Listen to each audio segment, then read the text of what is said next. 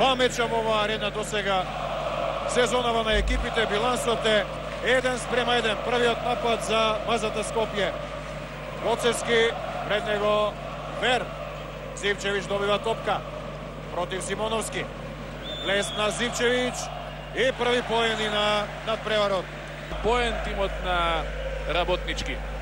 Блажевски се обидува со шут од далечина и конечно погодува работнички во третиот обид за тројка. Да, пик н рол игра во дефанзива на МЗТ е проблем. Беше и на предходното дерби во оваа арена на 29 јануари. Сега погодува Богоев и работнички е само на еден негатива. И противничкиот центар и сега Блажевски на спротивната страна на влез покрај Гоцевски, поени на Блажевски, лична грешка направена од Златко Гоцевски и дополнително слободно фрлање за Веро Блажевски. 14-13 со можност да Божич, па Богоев. На влез Богоев против многу повисоки од Гоцевски. Одлично функционираат овие влезови на Ефтин Богоев, но Гоцевски веднаш враќа. Атрактивно, за да ги крене на нозе Фемили од 18 спрема 16 тимот од Градски парк има и напад кој се обидува да го реализира и успева во тоа Хаджи Булич доаѓајќи до пет поени вечерва прва тројка Лажевски, Симич и Богоев.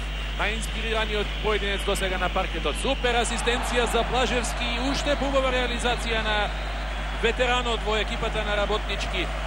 Се чува со Николовски во рекетот. Би требало Николовски да добие топка, но Пуповиќ не асистираше на време. Сега за тоа направи блок за тројка за Пенов.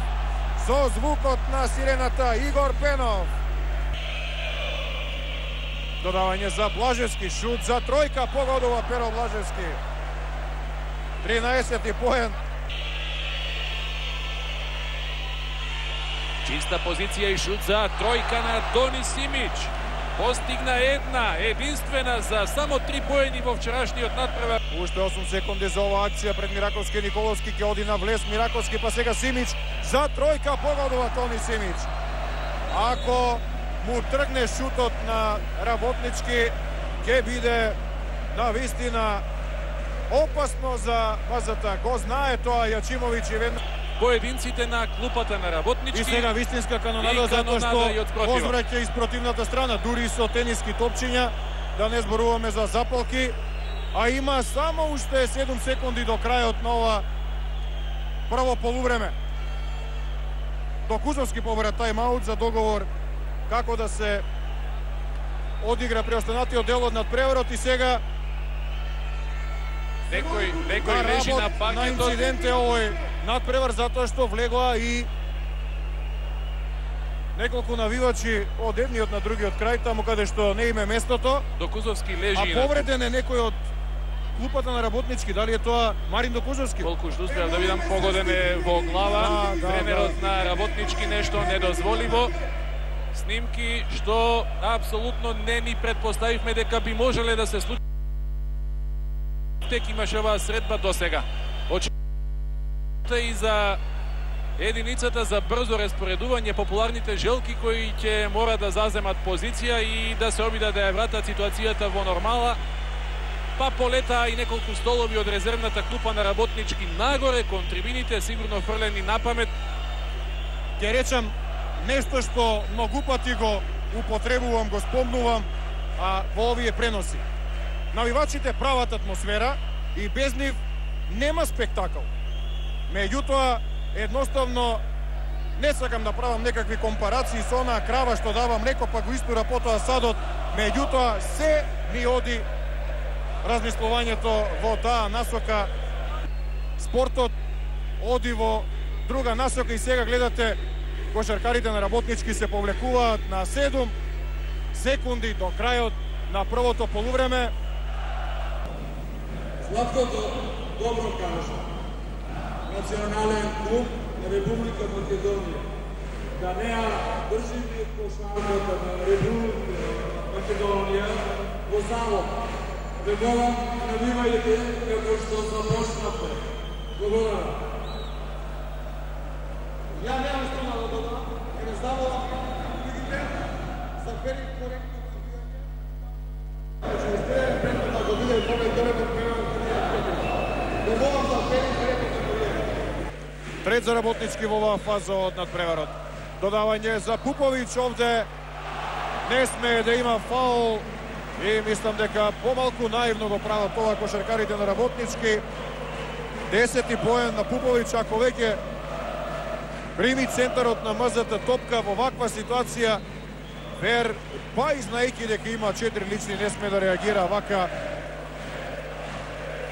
Вер е веќе преселен на клупата. Четири фаули по милионити пат повторувам има и Тони Симич. Николовски, Пајане Петровски, удар и погодува тројка. Средбата. Воведниот напад за работнички не завршила со реализација Симоновски веднаш во контра Зивчевиќ нема да пропушти да го заврши ова со атракција за негов осми погодок. Обично двоцифрене на најважните надпревари. Шут на Величковиќ, тројка и погодок за 63-63 на 4 минути и 52 секунди до крајот. Се беше тоа уште таму во седмата, осмата минута од првата четвртина. Петровски, шут, тројка на Јане Петровски. Негова трета вечерва. Пешавачката четвртина само 6 коша. Еве го Хаджи Булиц за тројка погодува. Јане Петровски додавање за Николовски шут од пост не погодува Блажевски. Ја додаде оваа топка кон Богаев и еве контра за работнички. Симич положува. 13 поен, одлична акција. 68-66 води работнички. Тајмаут на блок Гоцевски. Влез Величковиќ, не успеа да погоди Николовски офанзивен скок. Кош. Против Зивчевиќ, добива топка Блажевски, Николовски е пред него, нема да има ваква игра, центарска на додавање за Симоновски. Задоцни во ротацијата Величковиќ. Напад може би за победа. Се пренесува топката веќе е кај Богоев, тргна на влез, меѓутоа запрен од Петровски. Наистина голема одлука на Митровски со која Значи, уште едно слободно фрлање на Богоев. Првото го реализираше и има и напад за екипата на работнички. два пати Еве, погодува Богоев ретко се случува тоа, но по вистинско време за работнички. во своја полза и веќе нема време. Малку секунди до крајот. Мораше вака грубо да санкци да појде на прекршок Златко Гоцевски, Гоцевски или барем во прв момент изгледа дека е доволно ако реализира еднаш Блажевски. Многу значаен миг, кош за 4 разлика за 73-69 на само 7 секунди до крајот и сега Да видиме што е замислата на Јачимовиќ. Боцевски добива топка и од тешка ситуација бие, не успева да погоди. Па зарем требаше да шутира тројка. Неполни 3 секунди има овој надпревар. Пети кош на Симоновски. Го чекаме само конечниот резултат за да ја официализираме осмата куп титула на работнички. Не погодува Симоновски 74-69 е конечниот резултат во полза на работнички во 19-тото финале од кошаркарскиот куп на Македонија. 12-то за работнички за осма титула. Мазето останува на 4 титули во 8 финални надпревари. Имаше многу проблеми работнички во овој надпревар, посебно во второто полувреме со личните грешки, но успеа да издржи и сега ја слави титулата. 22 коша за Перо Блажевски, 17 за Богоев, 13 Тони Симич, 10 Хаджи Булич, 5 Симоновски, 4 Вер, 3 Димитар Мираковски.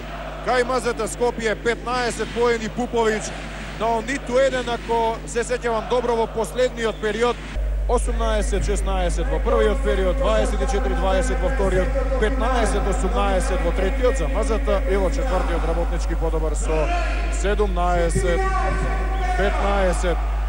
Предпоставивме Перо Блажевски е MVP, најкорисниот играч на ова финале. Ги добива честитките од своите соиграчи и наградата од Кошаркарската федерација на Македонија. Играше 40 минути 39 годишниот Блажевски. И Тони Симич од председателот на Македонската кошаркарска федерација Даниел Димевски ќе го добие пехарот за освојување на националниот куп 19-то издание. Нему ќе му се радува екипата на работничкиот градски парк. Може би нема да успее во продолжение од сезоната да дојде до триумф во првенството. Иако не му ги одземаме шансите, работнички е трет со 8 порази, пред него се Фени и мазета но за Марин Докузовски и за играчите на работнички по овој голем триумф ќе биде многу полесно и во преостанатите пет кола од Суперлигата, а потоа и во мечевите од плей-офот odnašio košarkarski šampionat.